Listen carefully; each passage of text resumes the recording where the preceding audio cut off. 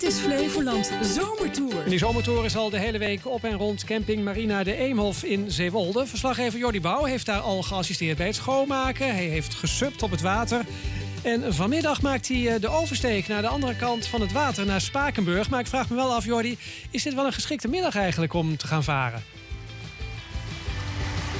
Nou, het is een echte Hollandse zomer, want uh, ja, de temperaturen zijn op zich wel goed. Het is helemaal niet koud op de boot, maar het regent wel een beetje. Dus echt lekker weer om op de boot te zitten is het niet, zou je denken.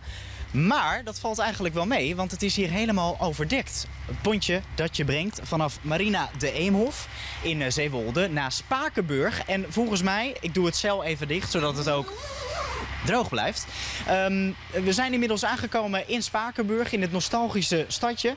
En uh, ik ga even praten met de schipper. Dat is uh, Jan van Twillert. Jan, goedemiddag. Goedemiddag. Ja, het is een rustige dag vandaag. Er is verder helemaal niemand op de boot. Nee, het is, uh, dit uur is een rustig uur. Er zijn nog wel een aantal gasten in Spakenburg. Maar die gaan we dan straks terug vervoeren naar de Marina de Eemhof. Ja. Heeft dat te maken met het weer?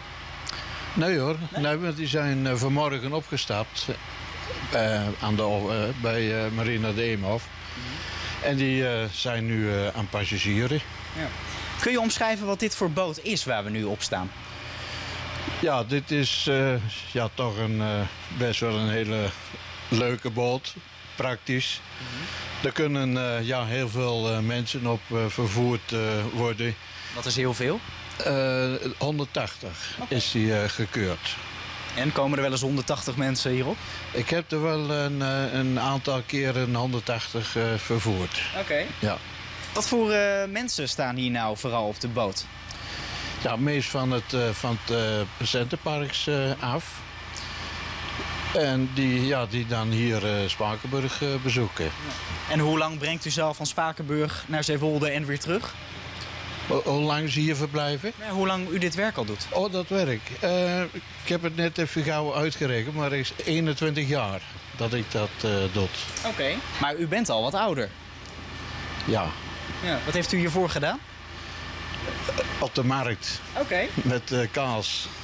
Oh? Ja. Dat is even heel ja. anders. Ja. Maar als hobby had ik altijd wel het, het varen. Waarom vindt u dat zo leuk? Ja, ik, varen, varen is gewoon echt uh, schitterend. Uh, ja, echt een uh, passie ook van mij. Ja. Nou lijkt mij al 21 jaar lang hetzelfde rondje varen. Van Spakenburg naar Zeewolde en weer terug. Lijkt mij saai. Ja, dat zeggen er wel meer mensen. Maar ik vind het, ja, ik vind het fantastisch. Ik, elk, elk rondje doe ik met plezier.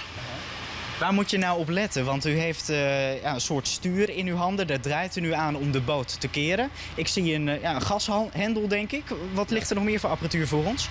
Ja, voor de rest dan een beetje navigatie. En, uh, ja, en, en, voor de rest is het opletten hè, met scheepvaart. Gebeurt er wel eens wat? Een klein ongelukje? Nee, ik heb het, zal het afklappen, maar ik heb het nou niet meegemaakt. Maar het betekent wel goed opletten. Ja, ja. Wat kan er allemaal misgaan? Ja, als je niet oplet en, en ja, je, komt tegen, je vaart tegen elkaar op, dan is dat niet zo, uh, niet zo leuk. En net als vanmorgen ja, geeft hij dan wat uh, storm aan. Ja, dan moet je toch een beetje voorzorgsmaatregelen nemen. Ja, want als het stormt, dan vaart u niet? Jawel. Maar ik bedoel, als het heel hard stormt, dan komt er ook geen publiek. Dus dat, uh, dan werkt de natuur die werkt dan ook gewoon mee. Ja. Doet u dit nou als hobby of is het echt uw volledige baan? Dit is mijn uh, volledige baan. Oké. Okay. Ja. Dus iedere dag gaat u op en neer? Ja. ja. Oké. Okay. Nou, dat lijkt me van maandag tot en met zondag? Ja, van maandag tot en met zaterdag. Oké. Okay. Ja. Doet u helemaal alleen of heeft u nog collega's? Ik heb een, uh, mijn uh, schoonzoon. Die uh, samen doen we dit. En ja, dat gaat heel goed. En de toeristen, zijn die wel een beetje aardig voor u? Altijd. Nee, dat, dat maak je nooit mee dat dat niet zo is. Met welke verhalen komen ze bij u terecht? Ja, gewoon wat kunnen we eh, zien in, uh, in Spakenburg. En ik zeg zelf altijd, uh, je komt uit Flevoland, hè, dat is 40 jaar oud. Ik zeg, dan varen we een kwartiertje en dan kom je hier en dat is 650 jaar oud. Ah, en, en dat contrast, dat is toch altijd wel heel bijzonder. Ja. Nou, we zijn inmiddels gearriveerd in Spakenburg. Hoe lang duurt het nog voordat we aangemeerd zijn in de haven? Uh, ja, een, een klein, uh, klein kwartiertje. Oké.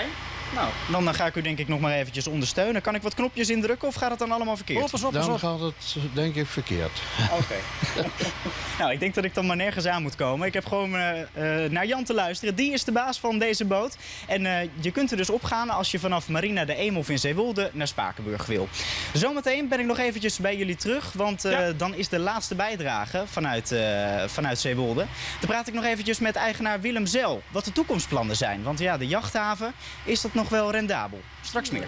Ja, verslaggever Jordi Bouw heeft, op, uh, heeft de camping Marina de Eemhof in Zeewolde achter zich gelaten. Maar het is aan het einde van deze week wel een mooi moment om de balans op te maken... en te kijken naar de toekomst van die camping. Ja, wat, vertelt, wat valt daarover te zeggen, Jordi? Ja, dat kan ik beter vragen aan een van de eigenaren. Dat is uh, Willem Zel. Die ga ik er zo meteen even bij roepen. Maar ik heb net een kleine pitstop gemaakt in Spakenburg. En daar is het ook wel mooi hoor. De camping is mooi. Maar Spakenburg, daar moet je zeker naartoe zijn geweest als je hier verblijft. Ik ben nog steeds op de boot van schipper Jan, met wie ik net een gesprek had. En uh, Willem, kom er gezellig bij. Die was ook eventjes aan het kletsen met uh, de schipper. Doet hij, het, doet hij het goed? Ja, hij doet het perfect. Hij brengt ons steeds veilig heen en weer, hè? Dat doet hij altijd, dat zal hij ook nu doen, maar, absoluut. En de zomertour, dat zit er bijna op. Ik heb samen met Rob deze week de handen uit de mouwen gestoken. Hoe vond jij dat het ging? Ik vond het uh, hartstikke gezellig. Het was heel leuk. Ik, uh, ik, uh, ik heb er echt van genoten. Wat vond je het leukste? Oh, dat, is, dat, overvalt me. Ik vond het leukste de interview met de anderen. Om dat na te kijken. Dat was, dat was echt leuk. Kwamen daar ook nog verrassende dingen voor jou uit die je nog niet wist als een van de eigenaren? Ja, ik, ik vind het heel leuk als jongens van bijvoorbeeld van de beachclub vertellen wat hun passie is en hoe ze bij ons terechtkomen. Dan weet je niet allemaal of je bent het weer vergeten. En, ja, en dan het plezier wat ze in hun werk hebben om dat te zien. Ja, dat doet je goed natuurlijk. We zitten nu lekker op de boot van uh, schipper Jan. En uh, achter ons zie je een gedeelte van camping Marina de Eemhof. ja, jullie hebben de afgelopen jaren wel flink bijgebouwd. Want heel vroeger was het alleen een jachthaven. Ja, dat klopt. toen wij de jachthaven van Centerparks, de Eemhof overkochten. Toen hadden wij al wel ideeën, met toekomstplannen en uh, die zijn we gaan uitwerken. Dat heeft heel lang geduurd voordat dat gerealiseerd werd. En um, ja, dat is uh, tot stand gekomen met de uitbreiding van de marina. Dus uh, de 100 appartementen die gebouwd zijn met alle outlets erbij. En, en de nieuwe havenkom en de beachclub. En uh, ja, de tijd verstrijkt, dus ook de tijden veranderen. En je moet als bedrijf mee. Ja, want je hoort een landelijke trend is natuurlijk dat de jachthavens, ja, dat het er wat minder mee gaat. Ja, dat klopt. Dus uh, ja, daar moet je op inspringen. Uh, je hebt natuurlijk een heel mooi gebied en het zijn heel veel vierkante meters. En die moet je proberen op een andere manier in te vullen.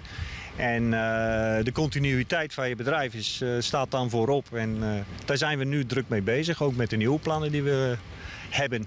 Wat zijn die nieuwe plannen? Uh, de nieuwe plannen die uh, in de oude havenkom hebben we sinds 2015 vijf woonarken die door Centerparks de Eemhof geëxporteerd worden. Heel succesvol. En uh, daar willen we er nog tien bij leggen. het voordeel is dat we dan zonder dat we mensen moeten teleurstellen dat hun lichtplaats verdwijnt. Want zoveel ruimte hebben we inmiddels in die haven. Hebben we de haven weer vol met boten die er nog overblijven en uh, die tien woonarken. En uh, hier op het strand dat je achter, achter ons ziet, uh, daar gaan we een surfpool bouwen. En daar komen beachvilla's en 32 surfshacks, zoals wij dat noemen. Dat zijn kleine strandhuisjes waar we onze doelgroep, de surfers, in willen situeren. Ja. En ehm, ja, dat is ook de continuïteit van het bedrijf in acht uh, nemen. Dus uh, wat je ziet is nu uh, dat het hier, de pool achter ons leeg is, omdat het een beetje bewolkt is. Ja. Nou, de temperatuur is nog prima. Alleen veel mensen denken, de zon schijnt niet, ik ga wat anders doen. En als je die surfpool hebt, dat is uh, voor surfers. Dus we gaan daar een golf creëren van uh, 1,80 meter hoog voor de diehard surfer. En die breekt op een gegeven moment en dan krijgen we een kleine golf. En dan kunnen beginners op leren surfen. Ja, als die er nu zou liggen, dan zou je dus heel veel beweging zien. En dan zouden daar zeker misschien wel 100 mensen tegelijkertijd aan het watersporten zijn. Maar hij ligt er nu niet? Hij ligt er nog niet, maar uh, mijn hoop is dat hij er uh, in misschien volgend jaar en anders het jaar erop ligt. Het, uh, de vergunningen die zijn binnen, het bestemmingsplan is rond. Uh, het enige was de financiering. Omdat het zo nieuw is, is financiering best wel ingewikkeld. Maar ik heb nu hele goede hoop. Er, er gloort licht aan het eind van de, van de financieringstunnel dat, het, dat, het, dat we dat dit najaar grotendeels rond gaan krijgen. En zo gauw de bank, die een hele belangrijke speler is natuurlijk, zo gauw die groen licht geeft.